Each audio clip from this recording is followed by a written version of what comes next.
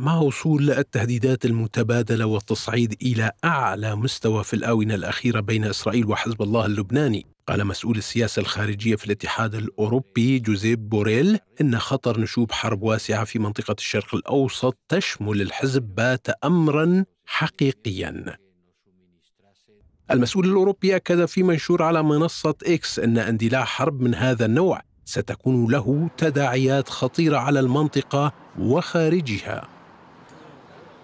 ومع تصاعد التوتر على الحدود اللبنانية الإسرائيلية وفي أحدث التطورات الميدانية أعلن حزب الله أنه استهدف بسرب من المسيرات موقعا عسكريا اسرائيليا في ايليت شاحر شمال شرق صفد يضم أماكن تموضع واستقرار ضباط وجنود الجيش الإسرائيلي.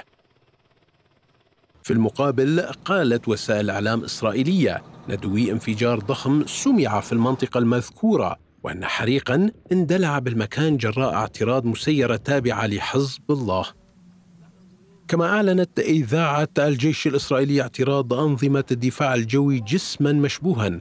أطلق من جنوب لبنان واستهدف منشأة أمنية عسكرية وصفتها بالحساسة في الجليل الأسفل شمال إسرائيل.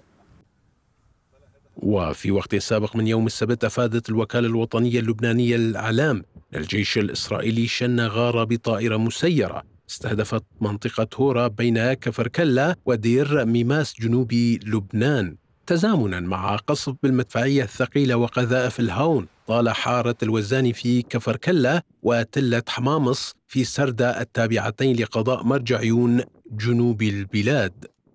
والثلاثاء الماضي أعلن الجيش الإسرائيلي التصديق على خطط عملياتية لهجوم واسع على لبنان مع تواصل التصعيد مع حزب الله منذ أكثر من ثمانية أشهر على خلفية الحرب المستمرة في قطاع غزة.